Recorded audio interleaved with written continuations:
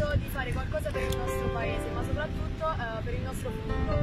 Quindi eh, abbiamo deciso di raccogliere dei rifiuti per eh, eh, tutta la marina di San Salvo e eh, le abbiamo divise in base alla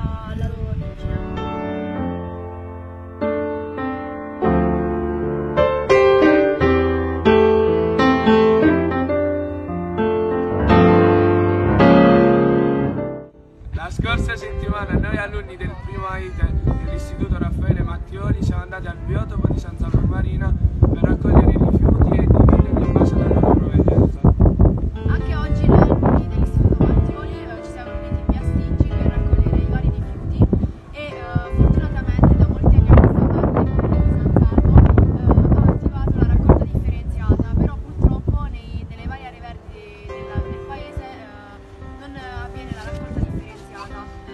quindi ora lanciamo la sfida eh, alla nostra città, ma soprattutto alle città.